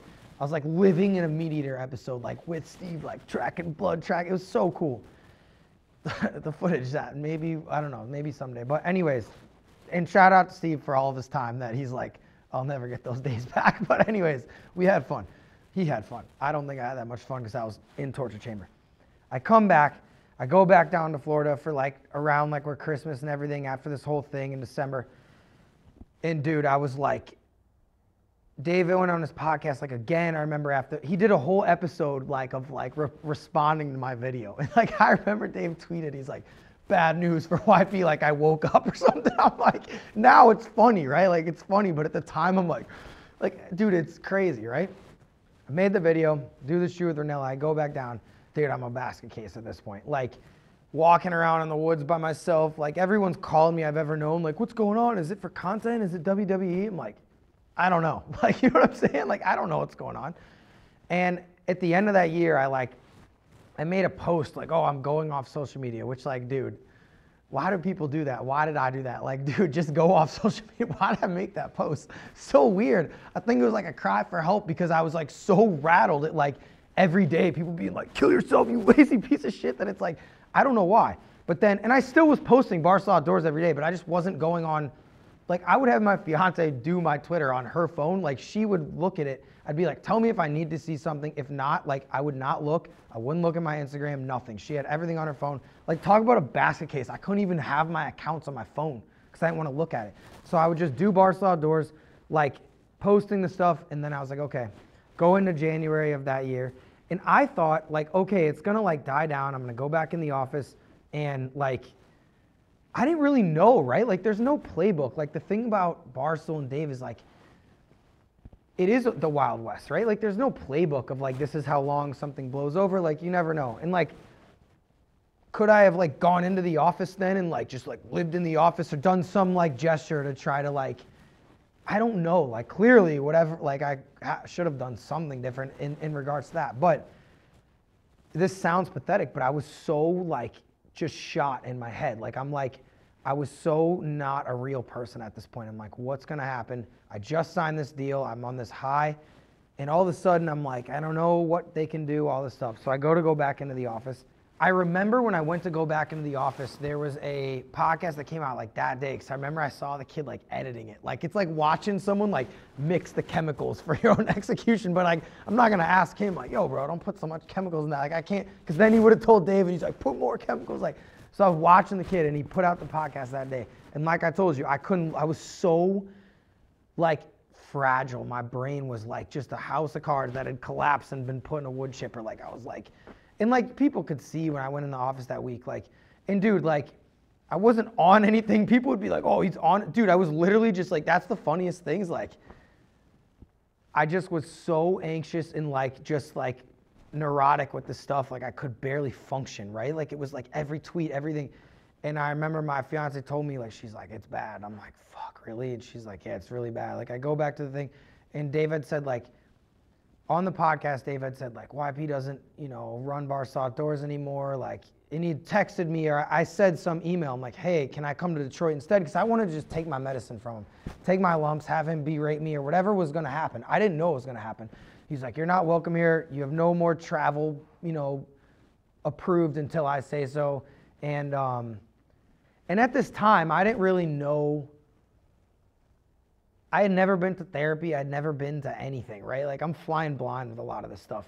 And um, during that time, at the beginning of January and December and all that stuff, I would sit in my bed. Like I wouldn't go out until like midnight to three. I'd like walk outside to get like I was so afraid because there was people like during all this barrage of like toxic hate and stuff like on DMs and comments. Because when you go to war with Dave, it's not just David. He has a billion people that are his like loyal fans. It made me so paranoid and neurotic. Now, looking back, it's like, bro, it's Barstool Sports. Like, it's not like I had like murdered someone and was on the run. Like, in my head at that time, it's like you get so wrapped up in that world and everything that it's like, to me, I was like, like I didn't know. Like, I thought at any moment someone was gonna pop out from a palm tree and be like, look, Dave, like he's not. And like two, like one person sent a picture, was like, this guy, like I saw you walking on US one, like not working, huh? And like, and I was so paranoid that like at any second I was like, I had one moment like this panic attack. I was in Mangrove Mike's and with my whole family, my fiance, everyone, and I just was like, there was these kids, these college kids sitting behind me, and like when you work at Barstool, you kind of have this meter of like who's gonna recognize you when it's like a white 24 year old dude that's like wearing like a frat shirt. You're like, this guy might say what's up, and I was like and then I just walked out of the, it's like funny now, but it's, it's ridiculous. I was a shell of a person. And I walked out, I was walking down by like the, um, by Lorelei on the back road. I remember like my fiance came out, she's like, what's wrong? I'm like, dude, like, I don't know. Like, I can't even be in there right now. It was so pathetic. Like, it was bad, right? Like, my head was just gone. And it's like, when this podcast comes out, he said something about like YP is a brand new employee, like he doesn't um, work at Barstool Outdoors, like we're we hired someone else, all this stuff. Which like, dude, I didn't know what was true and what's not. And um, then he said like YP's just gonna come in the office and blog like a brand new employee. Like I kind of figured out. First of all, I call him. I'm like, dude, like, can like what's going on here? Like I'm like I just signed a four year deal. Like what do you mean? And he's like, oh, it's like guaranteed. Like unless you like commit a felony or whatever. You know what I mean? He's like, I don't. He's like, you can't like get fired, but like they could also like I, I remember in the language it's like YP does Barstool Outdoors or whatever, you know, you're subject to whatever your boss says. Like they can change it. It would be like if someone signed you to a four year contract to like play, you know, running back on a team. And then they're like, actually, we're going to like a week later, like you sign the deal and then they're like, you're going to sit on the bench and be fourth string like punter or something. And you're like, okay, like I'm still on the team and I still would have got paid, I guess. But I'm like, damn, like that's not really what I was hoping would happen when this all like a month before transpired of the new contract and I'm doing so good and all this stuff. And like in the time after everything that had happened and you know all since I got there, it was so personal when I started at Barstool. It was like it was really a family. Like I was employee 43 when we started. You know what I mean? And like a year before or like 6 months before I was employee 43, I think they had 16 people total, right? So this was a small family and that's including everyone. Sales, you know, like camera, everything.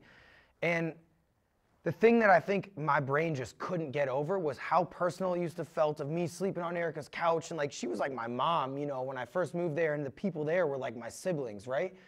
And I think then devoting my life every single second from when I left St. Louis in 2016 and went to New York and lived there and worked on Barstool doors every second of every day I think then that momentum and high of like, oh, now you're going to get a four year extension and we're, you know, I wanted to be a lifer, right? Like I thought I was going to be there forever and it meant the world to me. Building Barstool Doors was my soul. And to then so quickly, rapidly from one week to the next be like, you're doing great, we're going to give you this contract extension, to then your value's never been lower and you, you know, we're going to replace you and all this stuff it just felt so like foreign and dirty and like hurt me in a way that it was like my brain could never get over it, which is not their fault. Like, and I'm also not a victim. Like, there's a million things I could have done differently or, you know, little forks in the road that would have turned things out differently. Completely. Hindsight's obviously 2020.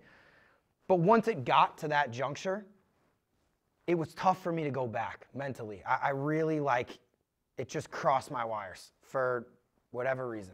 Barstool is an unbelievable place to grow and learn. And the, the, if you want to be in content, like, dude, I could have never learned as much as I did at Barstool, right? In a thousand different ways. Every spectrum. Watching Dave every day, I just learned. But for me at that point, right? I wanted to kind of be in this new chapter of my life. It just felt really like, to me, after everything that had gone on and how hard I had worked to like become that, I was like, man, I don't know what's going to happen, and maybe Dave would have made me do something for two weeks, and then it would have back, been back to normal. What's the Kanye thing? I guess we'll never know. I don't know, but like all I'm saying is like I loved working at Barstool more than anything. I signed a four-year deal with the hopes of being there for that would have been eight years at that point, and, and who knows? I never had the plans to leave, but I had had the thought in my head. I always knew that I wanted to start my own thing.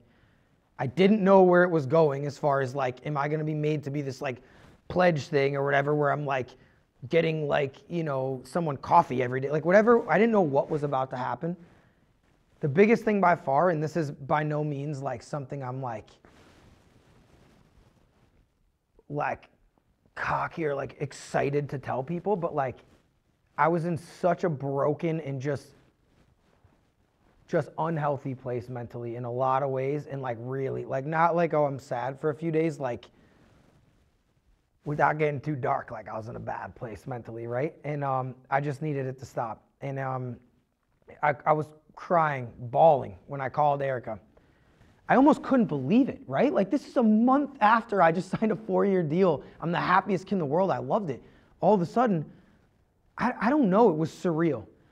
And I'll never forget there's the craziest snowstorm in January, end of January 2020, 2021. And I called Eric, I was like looking at the thing and I'm bawling. It's like really sad. I was like, Eric, I was like, basically, in so many words, I'm like, I need this to stop. I need us to find a way that I can get out of this contract. I was like, Erica, I'm I'm in a really bad place, and I I need out. I'm sorry. I was like, I love you. I love Barstool. This has been the most fun time of my entire life, and I mean that. I never had more fun. It was it was unbelievable. But in that moment, could I could I have gone back or done this X's and O's way? Yeah, I'm sure, but like literally it wasn't an option, which is sad. I'm not proud to say that, but that's where I was. And I didn't leave with some it's not like I was like and I like people were reaching out, "Oh, come work here, come do this." I never it was nothing about that, which is like pretty dumb when you leave a job. You shouldn't just like have no plan. I had no plan. I just was like so and like I said, it's embarrassing now, right? Like that's not like a way and like now I'm a different person. I've grown from this, but I was like, I need it to stop. So I officially tell Erica and she tells me, okay, call me. She was like, All right, listen, YP, take a couple days, think it over. Like, you know, she's like, she was so nice and like was like, YP, like she was in that moment, man, like I I was broken and I'm calling her and she was like being very receptive. She's like, take a breath, take a couple days, tell me how you feel then. I'm like, okay. Fly down to Florida. Me and my fiance just we, we just got a place there because I knew I was leaving at that point. And I told Erica two days later, I'm like, I was like, Erica, I loved my time there. I love you. I'm so grateful. Thank you so much. But I was like, I want to proceed like leaving, you know? And it was so weird because I'm like, what is life outside? You know, like I didn't have, before I went there, I'm living in my parents' basement as like a not even, like I was like a little gremlin, like watching movies at night and like filming music videos. Now I'm like an engaged 28 year old dude, 29 year old guy. Like, what am I doing? You know what I'm saying? Like it was very scary and I didn't know what to do. Okay, so you left Barstool. There's still a lot of time unaccounted for here. Where did you go next? What did you do? Where were you at then? I leave there and I'm in West Palm and um, I was absolutely a shell of a person at that point, right? Like my entire identity and everything I was proud about, like, you know, who I was as a person, which I know now is is is not the way that you should operate. I was so just like beaten mentally. Like I had no juice, no nothing. I'm just like I'd sit in bed all day, like I'd just be like I didn't know what to do, right? Because my only dream, like my only thing was like I'm to make this show, I'm to do this. And then uh, it happened and everything was so unbelievable the way that it transpired. And now it just felt like, and it was just vanished so fast from my fingertips, right? And I'm like, some people would say, "Oh, well, go start your thing," and like, and I knew, you know, okay, I'm gonna start my own thing. Like that was the that was the party line at that point. But to be straight up with you, I didn't. I was like, I may never make a video again. Like I was like, I might go become like a lumberjack, like Dexter, and that, like, you know what I'm saying? Like, if you had been, if I had been made content outside of it beforehand, I'm sure I would have been fine to leave at the time. Everything that I had ever like taken satisfaction of, like, look, I'm this person, came from this world. So all of a sudden I'm out of it. And not only that, when you go to war with Dave and then leave, it's like every still incessant at this time worthless piece of shit. Like all, and it's like, dude, now honestly, I was just in this deep kind of like depression and just like I, I had no goals, no excitement, no nothing. I, I was so, I literally felt zero ambition to ever do anything again. I didn't care what happened to me. I'm like, I just wake up and I'd just be like existing, like I was just there, right? Now I know that's a little dramatic, right? Like I still am the same person. I know how to do this stuff.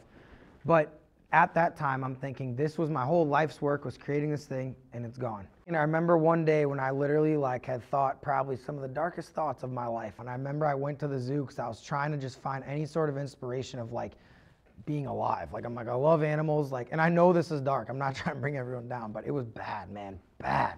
And I went to the zoo and I was like looking at the animals and I'm like kind of trying to like be like, dude, don't do something, you know, really bad. Like, remember this kid that loved animals and all these things. Like, I was trying to like find something. I was a shell. I was existing. Like, you ever seen like a uh, like a tumbleweed? Like, I was just existing, and I thought it was bad. So your life has officially cratered, is a smoking pile of ashes, and gone off the rails. Could it have gotten any worse? Oh man. when my engagement ended, it was um, just a pain that I never knew, like a feel, a, pain that I, a feeling I never could knew existed on this earth. Like anything in my entire life before that, I was shocked, hurt, like confused, um, just sad, just in just in the deepest pain, and just uh, whatever I was before a shell. Now I was like you ever see like people? This might be a niche reference, but like if you leave a shrimp in like a shrimp bucket and like you you think you got them all out, but then there's like one and it like gets dried out in the sun. It's like whatever's less than a shell, like the little like white part that's like the film of the shell. Like that's what I was at this point. Just I was like biological matter, but I wasn't a human, and it was so so so bad because it's just a loss in so many different ways. Like you lose your best friend off the top. You lose your best friend in the entire world that, like, the other half of your brain, you know? Like every memory, every thought, every single thing that you thought. It's like this person who your brain is connected to is all of a sudden just like the cord is out and you're just gone. That's off the top. You lose all of your shared places and songs and your friends. Like I miss her friends all the time. Like I, I was like out of nowhere, you know? Like you're like, this life that you're building together that meant so much, right? Like, and um, you lose their family, you lose like everything that was special together for you guys. The shows that you watched, inside jokes, it's just gone in an instant. And um, the biggest thing to me is like, I think what I think what murdered me the most was losing like the future, right? Like it's not just in that moment and your best friend and all the cosmetic fun parts of like when you love someone. This is someone who I loved more than life and wanted to be my wife. And I, I had every indication thinking this is what was going to happen. And it felt like I had lost like 70 years with someone. You know what I'm saying? Or however long, you know, like you live together. It's like I was so excited to be a husband and to get married to her. And like, bro, when I said that I want to spend my rest of my life with that person, I meant every letter of it. You know what I mean? Like it's not like that's a that's something that you just swap out. Like no, I wanted it with that person and I loved her with everything in my body. So it killed me. You know, it really really killed me because on top of everything else, you know, I was so excited to be a husband and be her husband and like to be a dad. Like it meant the world to me and it still does you know? I, am I'm, I'm excited when that happens someday but it felt like it was so close and every indication i you know thought was that that was coming in in, in the near future. And you're gonna make me emotional but it just kills me you know? Like I, I was so excited to like take our son like you know to hockey practice or like take my daughter out in the ocean and be like look at these sharks and like look at all this like beautiful coral and like kills me, man. Like I, I had pictured, you know, like our kid, our cute little kids. Like I'm like, dude, I could see our little kids like running around in the kitchen and us like playing songs and them like dancing. Like, you know what I mean? Like it was so real to me. And when that just vanished out of nowhere and evaporated, it's like, oh man. The good news was I completely forgot about everything with Barstool like instantly. It's like if there's one silver lining, I was cured of all sadness of like, oh, Barstool Outdoors is just whoop, like out of your like grasp.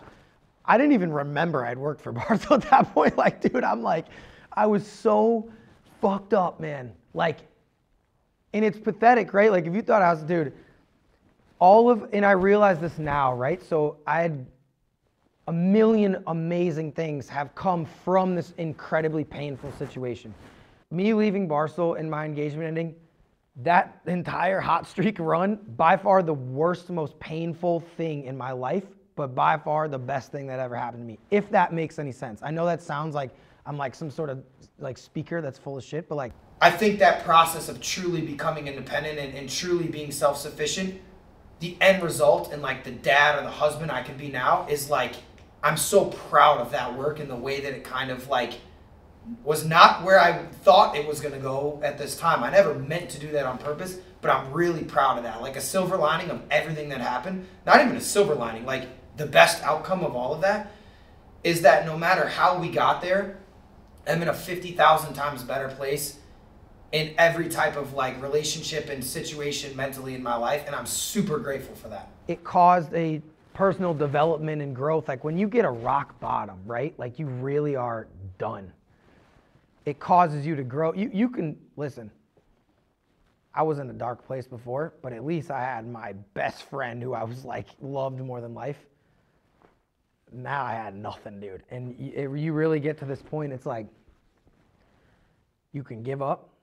And I thought about it. Like I'm not trying to laugh and be dark, but um, it was bad, man. I'd just be sobbing in the shower. Like, dude, by myself. It's one thing when you're sad in front of people or like you tell your boys, whatever. I was fucked up in a way that was like not a healthy, normal thing. And I, I just would try to get myself, and I was going to so much therapy. And honestly, like Pat Maroon, low key, and, and Fran, his wife, like, not saved my life, but Pat was like, dude, come to Tampa and like, you know, come stay with me. Because he knew I was in a bad place. And, and Fran, probably even like as much or more than Pat, was like just there talking to me all stuff. Shout out to probably my favorite person in the world, Freaky Petey, who literally like, I can't even begin to talk about how much this guy like helped a literally keep me alive. I had a lot of people that helped me and I'm grateful for, but like as a person, I was a completely vulnerable bad thing and I would think about stuff like it almost gets practical at that point, which is so dark to say, but I was thinking about that kind of stuff in the most realistic of terms. Which I don't even know if I should be saying this, but that's the truth. And um luckily I'm I've never like I've never even smoked weed in my life, so I'm not like a drugs person or an alcohol person or like luckily I didn't like hurt myself in any ways of like consumption or things, but like I would just walk. Like I just go in the swamps of Florida by myself, this place west of West Palm in these swamps, and I would just walk like 12 miles. And I'd just be like by myself, just like replaying the events and trying to go back in time. And when you're in this state, right? Like everyone's trying to tell you stuff. People will be trying to say stuff to you, oh man, it's better now than if you're married or like dodged a bullet, all this stuff. And I'm like, no. Like I'm like, dude, I don't agree with that at all. Like I love that person more than life. Like I would have, if they, like I would have taken a bullet. You know what I'm saying? Like I love that girl. To me, she was the smartest, most passionate, motivated, like fun to be around person in history. So like all of a sudden you're like trying to like let it go and like let and I just I was so just in a tailspin, right? And some of it looking back, some of it's like kind of funny looking back, right? Like I go to to sell the ring and it's like you're calling all these places. Like the whole process of selling an engagement ring is is low key one of the funniest, most niche things of all time because I'm calling these places, right? Like at first when I got it back, I'm like, I'm keeping this like maybe, you know, 10 years. Like I didn't know. Like, you know, I'm like I told you, I was a shell. But then like you're sitting there, I paid a billion dollars for it. I'm like, all right, I'm about to get my money. So I'm like, okay. And you go to sell an engagement ring. And I'm calling all these places. And this in this it's like a symbol of like what I thought was gonna be in our family for generations and our grandkids are gonna have this and all this. So already you're sad, you're like selling this thing. Number two was just like I used to see it on her finger every day, so you're like watching it and you're like, it's like killing you having it in the room. Like it would even be there and it would kill me. And then the funniest thing is like, I'm calling all these places to try to sell it, all these jewelers, all these places that buy it. And you're like trying to tell them how valuable this thing is and how much meaningful it'd be to someone getting engaged. And you're like, the whole time you want to like literally drink bleach because you're like, what the fuck? Like this is supposed to be in my family for like a hundred years or whatever. Like, you know what I mean? The whole concept of it. It's like planning your own funeral, selling the engagement ring. And I'm sitting there and it's day after day and I'd have to send pictures of it. And then you don't want to, you're trying to sell it, so you don't want the picture to be ugly. So I'm sending like fire pictures. Oh yeah, that makes it look great. And this is like one year prior was the thing I was like putting all this effort into like propose, you know what I mean? Crazy. So there's some things looking back, I'm like, now I can see that's kind of like humorous in retrospect if I wasn't like a shell. The problem is when you break up with someone too that you like love so much. At first, you're kind of like, oh, like I can't look or do any like anything with stuff that we used to do or her stuff. I'd be making like off-brand playlists that were like all the same like artists of like the playlists we used to listen to, but like just less fire songs. Like I'd be like the same person. Like and I'd be like going to get like kombucha, but like, cause like all of a sudden I like kombucha, but like I want to get the trilogy one. I'd get like the, the off-brand kombucha. So I was like, I'm not trying to get the exact same stuff because it was too depressing. Like looking back, it's like kind of hilarious now. Like if it was a movie I was watching, it was very funny because like it's like, bro, it's okay. Like, it's okay that you still like Still Woozy Our Glass Animals. It's okay. Like, you can still listen to the songs. It doesn't mean you gotta cry every time. Down bad, dude. It was bad. So everyone says, "Oh, where'd you go afterwards?" Let me tell you right now. Hand up, like I would like to say, "Oh, I've had this crazy. I've been in the back cave and I made this crazy plan, this scheme." Bro, I was so depressed. Like I hated my life so much. I literally would wake up in a successful day. This is gonna sound so dark. I would just try to pass enough time in the day to get to like enough time at night that I could just like house melatonin and like fall asleep enough to just like make it to the next day and not like jump off a bridge. Like I know that's so dramatic, but brother, that's what that's where we were at. Anyone that's ever hated me in my life or like ex-girlfriends or like commenters that hated me or like anyone that's ever been like, I fucking hate this dude, they were eating at this time. Like these people, like I got great news, I was down bad. Like whatever's worse than down bad, that's what I was. First of all, I lost like 25 pounds. I was walking nonstop. I wouldn't eat. I'd be like randomly puking and like crying, just thinking about this situation and this, and and like some people can go through stuff like that and they're fine and they're all credit to you. Maybe I will if it ever happens to me. I don't know, but like I would, was not handling it well, right? And um, I was looking at places in like Alaska on these islands where I was literally just gonna like go live and take my dog. Like I have my husky Mako, who honestly helped me a ton at the time too. And I start going through the summer, all this stuff, and like what do you think? Every person I'd interact with, number one, I was like in hiding in life. Like I didn't want to see anybody because what are people gonna say? Oh, how's your fiance? How's Barstool? Like I'm like, what the fuck? Like, oh, you look great. Oh no, you don't. You've lost 30 pounds and you look disgusting. Like, I was literally all I would do is like go to therapy, try not to jump off a bridge, and like walk around in the swamp with my dog. Like, luckily, my dog, he was like now he's this big giant husky, but at the time he was this puppy and he'd just follow me wherever I went. I'd just take Mako and we'd just walk around for 10 miles. We'd go back to the car and I'd be like, guess what we're doing tomorrow, man? We're gonna go right back to the, this dog had to think that the world was just this one trail in the swamp. So, anyways, I get a call the end of the summer. One of these guys that I had filmed with that I knew really well, he's like, dude, you gotta come to California. And I'm like, all right, I need to go somewhere else. I couldn't stay in Florida because every blade of grass reminded me of like I just lived there with this girl and all this stuff. And I'm like, Florida's my favorite place on earth, but like, dude, I was just shattered, right? And I'm like, I can't, this exit we took one time to get like Jamba Juice, like you know what I mean? Like I was I was like in such a bad state. So I'm like, this guy's like, dude, come out here. I have a boat. We can film all this stuff. I'm like, all right, dude. So I go out to California, which I'd been a bunch of times, but I like I didn't really know, and it was different enough. And I'm living in Marina Del Rey, like, which was so cool. Like, I love it, right? And like, I didn't, I never been to that part. I've been to like West Hollywood, all this shit, Malibu's uh, State Park before. I was living in Marina Del Rey, right by the Venezuelan. Which shout out to Rudy Junda, one of my favorite people, came and visited me. He thought it was called the Venezuelan. It's called like the Venezuelan, and he was telling all this, yo, we're we're at the Venezuelan. I'm like, dude, that's not what it's called. Anyways. And honestly, in California, I was doing a little bit better, right? Like, I'm like, okay, and I was filming every day, like a banshee. And all of a sudden, I'm starting to get that itch back. Like, it was so different, and California's so unlike anything I'd ever done. I'd be out, these guys really were taking care of me. We'd go out, we'd film rattlesnake stuff out in the, in the Mojave or near there, all that desert stuff.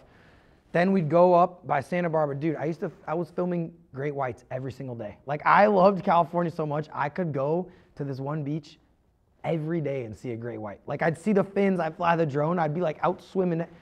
It was the coolest thing ever. And I'm from Missouri, dude. You tell me that I can wake up and go see a great white every day. I was loving it.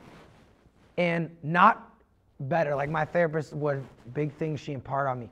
Healing is not linear, right? Which to me, I'm a very anxious person. Like I want to think like if I do this, this, and this, then I'm like, then I'll be here. It's like, no, dude. Sometimes you're here, sometimes you're not. And like, dude, it was hilarious. Like, I was at like I had boys out there and I had so much fun, man. Like going out in LA is like a blast, right? Like it was very different. It's like New York, but wild. And I remember I was at Delilah one night, which like I'm already probably breaking the rules because you're not supposed to take pictures. You're not supposed to talk about like like I'm already messing up. But the, I was in there and like we're with these like kind of famous girls, like like beautiful girls, all stuff. And I'm just sitting there talking about my ex. Like I'm just like talking, and all my boys are like, "Yo, like chill." And I'm like, I remember, I'm showing these girls pictures of me and my ex. Like I'm like, look, we're on the mountain, and like I took her up this mountain. I had a private chef, and like I'm showing these girls like these like famous chicks, and I'm like, like looking back, it's like, bro, what are you doing, dude? Like I was literally like the poster child for like weird guy. Like, you know, in the movie like Swingers or whatever, where the guy's like, uh, the one guy was like shook up. Like, I'm like that. We're, I'll never forget, we're sitting in the booth at Delilah, and this girl's like, hey, like, I'm gonna set you up with my friend. Like, she's great. Like, oh, she's really cute. She lives right by you. Like, you'll love her, all this stuff. And she shows me her Instagram, and this girl's like, like she like was the bachelor or something. She had like a million followers. She's like, you're gonna love her. Like, you guys need to go on a date next week. And I was like, I remember like now it's so fuck, it's like funny, but at the time I was like, oh no, like I can't go out with her. Like, listen, me and my fiance used to watch The Bachelor together. like, I'm like, that was one of our things. Like, I couldn't do that. Like, trust me. Like, that's like, it's like, bro, what was I talking about, dude? Like, just so weird. Like, so much stuff where I was like, let's not say I was all the way on the path to uh, being a normal person again. But California was amazing, and I was there for a long time. Some of it undercover because like I didn't really want to be like people to know where I was. But then Forrest Galante, shout out to him, he like put me on Instagram story, and then like I was like, oh shit, like now people, because this guy has like a million followers, whatever. So I'm in California, and dude, I loved it because I could go out and I'd be go filming whales with my buddy, filming the great whites, be playing with rattlesnakes, and it was so different, right? Like it also, dude, hiking the Tuna Canyon, all the places in Malibu, like I loved it. So I was like, all right, you know what? I had rented a car at the time. Dude, I had I had all this money sitting in there. Like when you sell that ring and shit, I was flush. You know what I'm saying? So I'd been renting a car. I would drive up to Santa Barbara and back just to go film for like an hour. It, dude, that like the gas was like five dollars and fifty cents in there. I'm like literally lighting money on fire. So I'm like, okay. I kind of knew I was like looking at apartments like around there, like up Malibu's so much money. I wanted to live there so bad, but it's like a billion dollars. So I'm looking at all these places, Palisades, all like Santa Monica. I'm like, I'm gonna go back home and get my car and drive out here because I can't rent a car any more days, you know? So I fly home and I'm landing. Craziest thing, dude. You know how they say like everything happens for a reason, whatever. Like it's all like, I don't know if that's whatever people say. And I'm on the plane, I land, and Robert Thomas texts me, like he didn't know. He's like, "Yo, bro, are you in town?" I'm like, "Yeah, dude." I'm like, "I'm I'm just landed." I, you know when you turn your phone on and it's like there?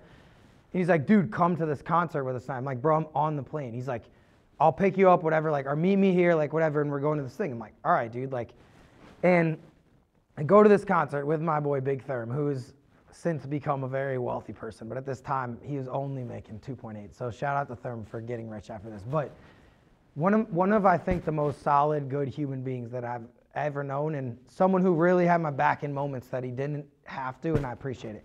So I go and meet up with him, and you got to realize in LA, I had a lot of fun with like my friends, and I was feeling like there was moments in LA where I'm like, I'm back. You know what I mean? Like I'd be filming and I'd feel like myself. But like I said, a lot of ups and downs. I'm still like, like showing random people my engagement pictures. Like I remember too at Delilah, that girl, she was like She's like, give me your phone. I'm like, why? She's like, I'm gonna unheart all these. Like, why are all your favorites the pictures of you and your ex? I'm like, oh, like, are they? Like, I didn't even know. I'm like, oh my God, like, crazy. So, anyways, I go back and we go to this concert, and it was all Thurman, all these guys on the blues and all stuff. And I had met Jordan Kyrou before, and he's like way younger than me, but like we were boys when we hung out in New York and all stuff. And I remember we hung out that night. He's like, dude, you should come to this stuff this weekend. I'm like, all right, bro. I was planning on getting my car and going back there, right? It's crazy how life works, you know? And we went out that weekend, and James Neal was there, all these guys, like people that I really, really love, right? So I meet these guys, Jake Walman, Jordan Kyrou, who, like, Wally's like 27, like he's younger than me. Like, but once again, all the old guys on the team are like married and stuff. So it's like they're not really going out with us. And like, so it's like I started hanging out with these dudes, and Therm set me up. He's like, oh, whatever. And I, we started hanging out.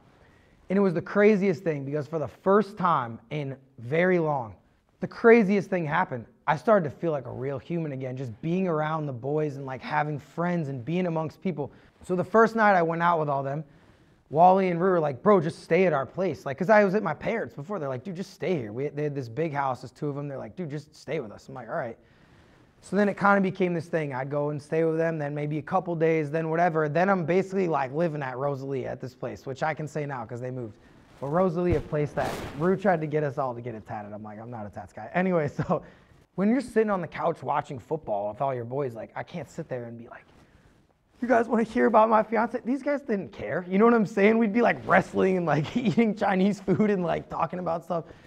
And like it started to build me into like all of a sudden I kind of got that itch again where I'm like, all right, I'm out with these guys and they're like all successful, cool dudes. And I'm like, and they were all they didn't care. They didn't care about Barstool. They didn't care about anything. Like they we were they were just my boys. And I'm like, yo, like I do cool shit too. Like, you know what I mean? I kind of started getting this feeling where I'm like, dude, I want to like pull my weight again as a human.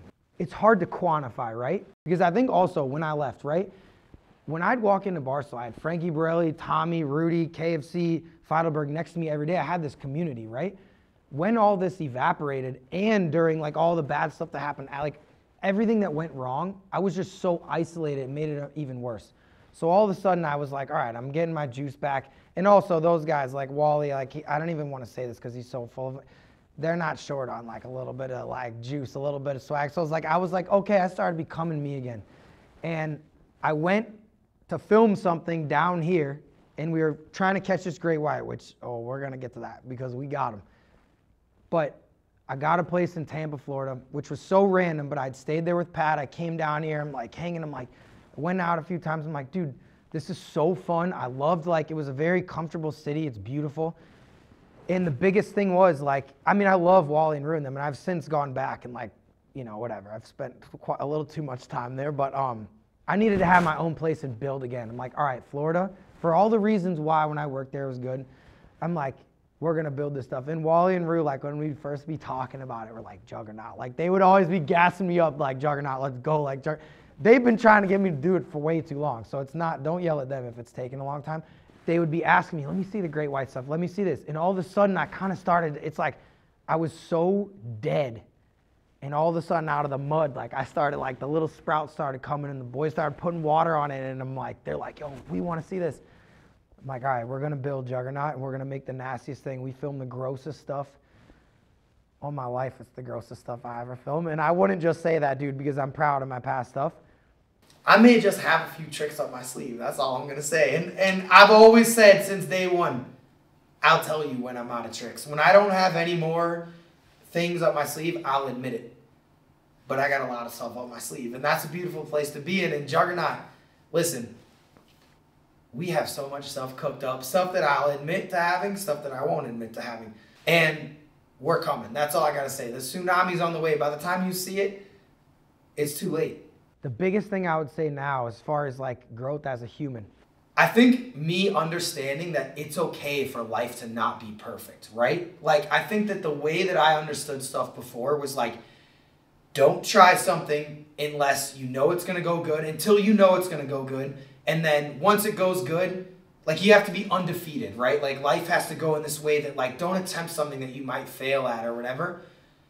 And even the things that I had attempted that were risky had just worked for me, right? So I had never really dealt with like an implosion before or something. And I think this the self-destruction of kind of like mentally that I went through after all this, the coolest part when I started to kind of get past it was like, it's okay for life to not be perfect. It's okay. A setback is like actually a really great part of the story. Like now I have to go and build it back getting it out of the mud is 50 times better than getting it from fucking the treetops. You know what I'm saying? And that was beautiful. Like as soon as I understood that, kind of like I had to re-engineer my brain to not be built off of external validation. And like, dude, shout out to my therapist, the smartest lady of all time. She was, has a lot of patience, but it feels like, you know, what's beautiful. It feels like 2016 again, 2017 when I was doing stool scenes and doing it on the nights and weekends grinding. Like it's it's that's what I got that feeling back. I got that hunger that like it you can feel it in your nuts. We filmed a million of these really high quality interviews, podcasts. We filmed all these episodes, the grossest stuff you ever seen. and we're we're coming back to, to take people's hearts out of their chests. Like with all, if you make outdoors, if you make entertainment on the internet, I'm gonna, I may not do it, but I'm gonna try to take your heart out of your chest because that's what we're doing now. And now, people want to hate me on the internet, that's okay. I'll see stuff now, and it's like, like I said, healing. It's not a linear process. There was times that it's better than others, and there's setbacks. When I removed social media from my life and wasn't like only getting stuff from likes or followers, isn't it? Dude, I lost so many followers not posting. I'm like, whatever, I'll get them back. Like it ain't that serious. It's it's Instagram, dude. It's TikTok. Like who cares? You know what I'm saying? And it's and that sounds like I'm not trying to be some sort of like douche. I know that sounds douchey to be like above social media. I'm not above social media. It's unbelievably vital to my business and everything. I'm proud of how I've tried to evolve my brain into not being hostage by it, if that makes sense. When we make these videos, we make it nasty, and whatever people think, I could put this out and everyone hates it. I'm doing an interview with myself right now. Everyone could hate this, but it's okay. I like it. I think it's good. I wanted to say this, and it feels amazing. It feels like a lot of closure. Like doing all this stuff and being here in Tampa and kind of starting fresh and like everything is temporary. You know what I'm saying? Like at that time, some things are temporary that you wanted to be forever, which is not ideal. But um, everything's temporary. The bad stuff, the good stuff, it's temporary. Goods, the highs, the lows. And even right now, I'm excited doing this interview. Me and you, you look great, bro. Next thing you know, there's going to be a down. And like I think before with Barstool, I wasn't prepared for that. And I'm sure there will be more questions after this interview. I'm here to have them. Now we're every week. We're live now. And we got all these interviews coming up. It's beautiful. The show is gas, and I'll put that on anything. That trailer with me coming out of the grave, this is kind of gas, bro. Like you gotta like that. Look like a zombie, and um, it's beautiful. This is a beautiful moment. I'm very grateful for MMG Studios. I'm grateful for everyone that's helped me get here because I was in a dark spot. But we're alive. I can finally take a deep breath, probably take this orange coat off because I'm sweating. And we're in a beautiful place. So, Juggernaut, next week, we got Python Cowboy, and we're going live now. We're back. And you know what? I love everyone that's had my back. Everybody's been sending me messages two years later. Yo, dude, love your stuff. When's it coming back? I fucking appreciate you guys. And I'm here to be that dog. It's, it's like 2016, 2017 again. We're hungry. We're on, we're on it. What did Lil Wayne say? The only thing on the mind of a shark is eat, and that's what we are. I'm, that's what I'm at again, and it's beautiful. I love you guys. That's episode one. Wow. I've been really stressing about love, lust, and affection. Now I'm too over messing with girls who won't invest in my heart. It's way too stubborn, but though I choose to love, and I feel that I'm running.